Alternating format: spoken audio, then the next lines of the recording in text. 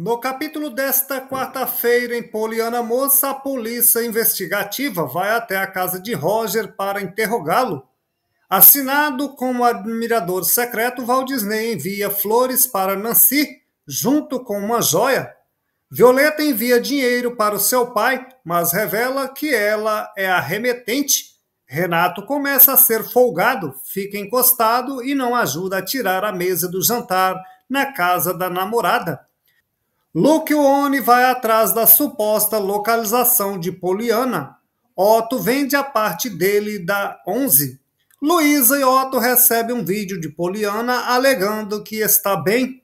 Roger conta para Violeta e Walt Disney que Cobra o usou e que o sequestro foi para entregá-lo para a polícia.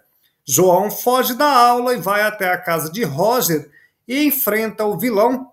Na escola, Eric encobre João.